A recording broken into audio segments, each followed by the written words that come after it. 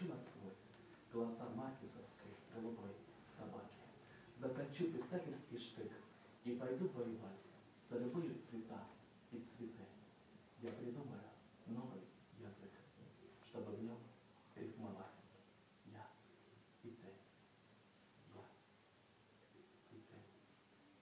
И полдня жгучая мизансцена гонит будто бы плетью. Самому бы близки. Не то чтобы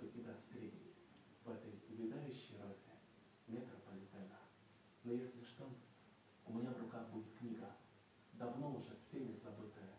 По мне будет понятно, что я много испытывал самых разных чувств, и что знал не один вокзал. Я так надеюсь, что ты обладаешь самым тонким из искусств. Не отводи глаза. И радуйся, радуйся, как ты стоишь на этой земле, твердо, веско. Вся планета двигается, подпитываясь твоих глаз блеском. Радуйся, ведь когда тебя жизни водоворот, хотя я лично использовал бы слово «блендер», никто не заметит ни крика, ни возгласа. Радуйся, девочка того возраста, когда одеваются в секонд-хендах. А курить можно?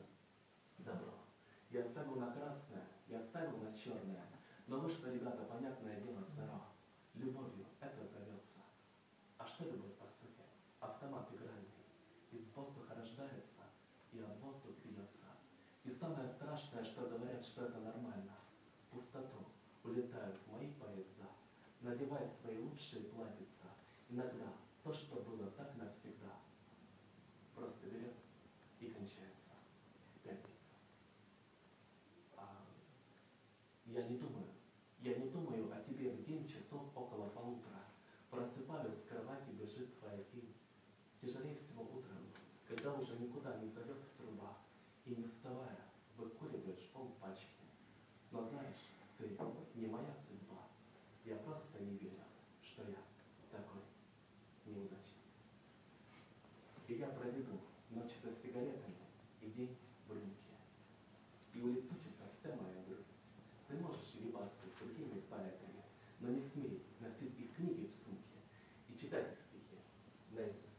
Эти другие поэты